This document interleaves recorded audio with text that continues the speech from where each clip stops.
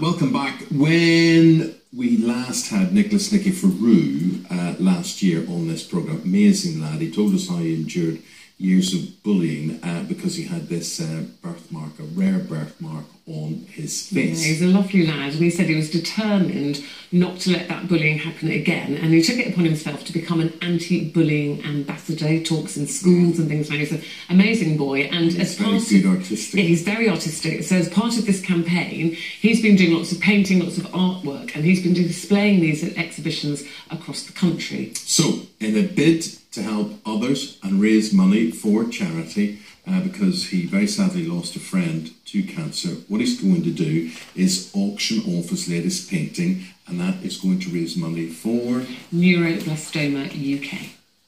This month is actually Childhood Cancer Awareness Month, and as you can see here, I have my the art piece that I drew with all my friends on it, um, which have childhood cancer.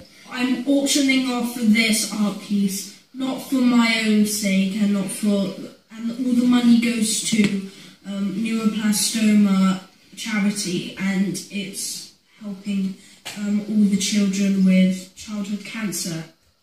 Okay. Amazing. So there's an auction. There's an auction. Somebody has to bid. Yes, somebody has to bid. Someone's Who's got to start him. off. You know, they say, who'll start me off here? Who will Who'll start start me off? off here? Come on, Eamon. Uh, I think it's only fair that we place a bid of What should we say? a grand. Thousand quid? Thousand yeah, quid, I think Nicholas, that's fair, right? Nicholas, don't you? So if you can get better than that, that will be absolutely brilliant because that auction is open until Sunday. So good luck with that, Nicky. Yeah. Good man. Good luck.